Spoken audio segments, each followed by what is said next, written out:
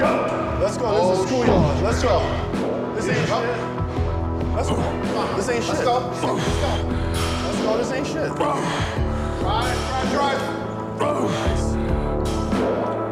If you were gonna do a thing of test, just get the air out and just slowly withdraw it. And that's it. You're all ready to go.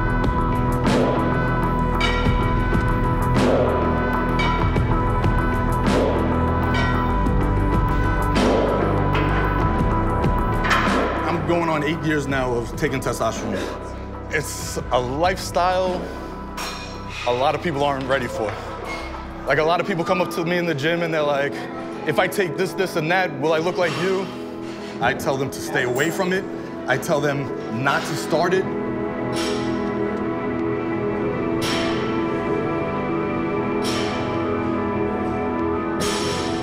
Your first shot, your life is gonna change. It'll never be the same.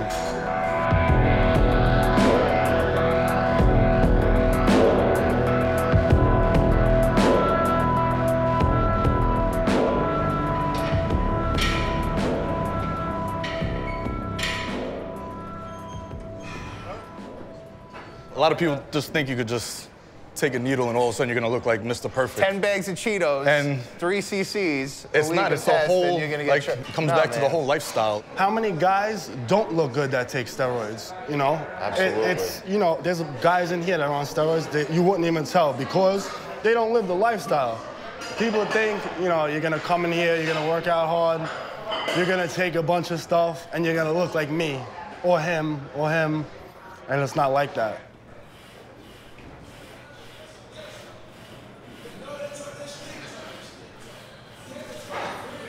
I've been bodybuilding now since 21, so I'm going on 14 years now, and I don't plan on stopping. I've spent my blood, sweat, and tears in this place. Who wakes up every morning, meal preps, cooks all their food, has a steady schedule? I work from 7 in the morning till 7, 8 o'clock at night, and I still find a way to hit the gym every single night, six days a week. When I started, I was a regular natural bodybuilder. I stayed natural until me turning 26. I remember I used to see this guy in the gym every single day and went up to him. I was like, hey, what supplements do you take? How's this? How's that? And he said, if you're serious, come see me and I'll show you what it really is. Basically, I just keep them in all a bunch of little places. I got here. It's like a friggin' pharmacy. I got all the pins for growth hormones if you wanna, when I used to take it. Right now, I'm not doing it. I have extra bottles that I have laying around. And then up here, what you're about to see is probably what I've done within the past, I wanna say, the past year. This is probably like a collection. These are all like the empty bottles that I have just laying around. Because I like to just throw them all out at once at the end of like the year. It's just a weird habit I have. And there's so many different kinds. Like this one is just the most craziest one. That's called Tren. This one is just known for very bad side effects. It can cause problems with your sex drive, help you, especially when it gets to that moment, you could have problems. This is by far my favorite one. It's called T400. Basically, it's a blend of fast test, slow test mixed together.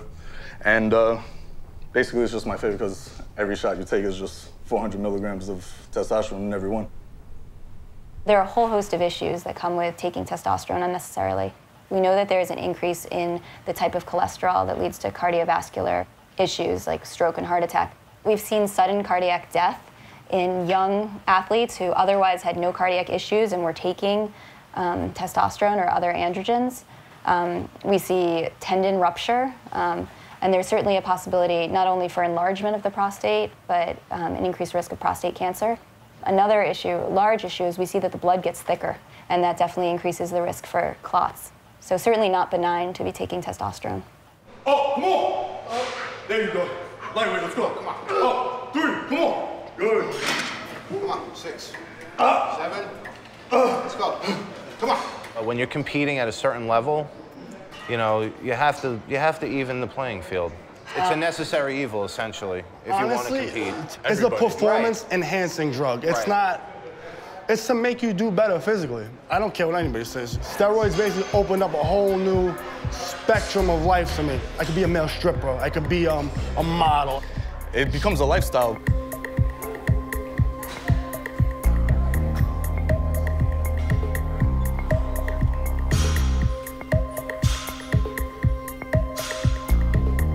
It's like a whole nother world that opened up for me.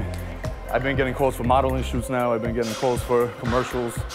Staying natural and going to like the anabolic stage, completely different. Without it, you only get to a certain level that you can push your body. And if you want to take it to that next level, that different look, and it does help open up a lot of a lot of doors.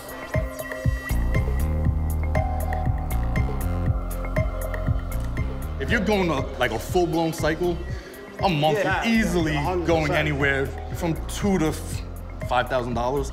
I know people that spend seven thousand dollars a month, and I mean, some of them are pros, some of them are trying to get to that level.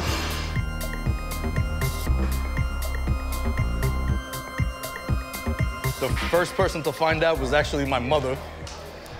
I actually had a couple of kits of growth hormones stuffed in the back of my fridge. I guess she caught on me waking up every morning, going to the fridge, doing what I had to do. And uh, I still remember this day getting that first phone call. Her hysterical crying. My mother wanted to hit me with a frying pan. Like, my mom didn't know that I was going to the doctor every three to four months, getting my blood work done. And I was overlooked by doctors at all times. I still do. You can't measure everything. Yes, you can see that the blood isn't getting thicker, but there are other blood tests that you can't do to see that the clotting risk has gone up. Are you now at risk for rupture of your tendon? You don't know that through blood work. You don't know if you're going to have sudden cardiac death, you know, from an unexplained reason. Obviously, it's always dangerous when you're getting a medication that's not approved by the FDA. I mean, I think one of the major sources is veterinarian supplements. So these aren't regulated. Um, so basically, anything that's being used on animals, it's not being regulated, and, and humans are getting their hands on it. Last time I went and got my blood work done, my testosterone level came back at 3,000. A natural male at my age that doesn't take steroids is probably, I don't know, what would you say, 500? Yeah, about 500. And to tell you the truth, I got nervous because I even go to a sports doctor and he knows a lot about it. And he was even nervous. There has been times I've got rushed to the hospital. Like, there's times I've been in the hospital my family don't even know. And I just didn't want to tell them because it was because of that. And when I first started, I couldn't control my anger at all. I used to bash every wall in my house. And it went from anger to depression. I lost whew, two serious relationships. I was engaged. A big reason why that came to an end was because of my steroid use. Stop being a bitch. Let's go. Oh, oh. yeah. Oh. Yep. Yeah. I'm going on eight years now of taking testosterone. Right. When I come off officially, I'm gonna have to go to the doctor probably for the rest of my life. Yeah. Get test treatment because at this point, I don't think my natural test will ever turn back on. It'll- And if it that's will. the case, I mean, it might, but it's gonna be years. It's not gonna be like overnight. Ugh. Basically, now I'm just cruising, which means I'm off completely. But to keep my body at a natural level, I take one shot of testosterone maybe once every like seven to 10 days just to keep my body going. I plan on coming off for a while, especially now. I have a new girlfriend. It's going great. I see a great future and everything. And, you know, I'm just thinking about right now eventually having kids in the next like year or two.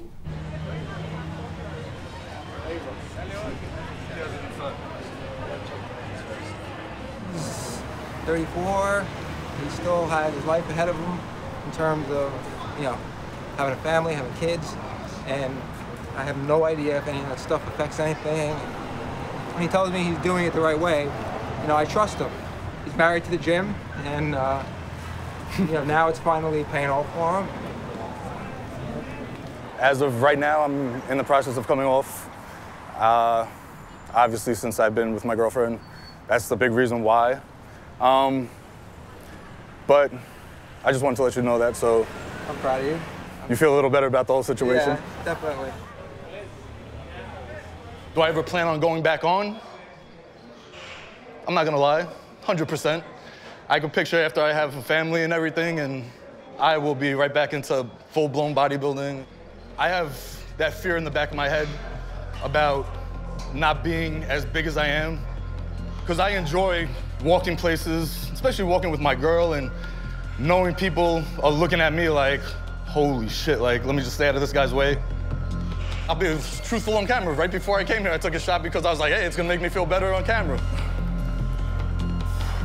It's just something that I love and I won't. I won't switch it and it is what it is. Even the day that I do stop taking steroids and I'm not gonna stop bodybuilding.